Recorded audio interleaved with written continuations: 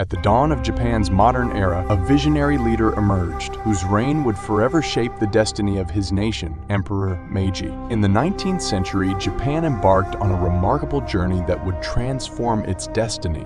After the arrival of American Commodore Perry, Japan's leaders recognized the urgent need to modernize and embrace the winds of change blowing from the West.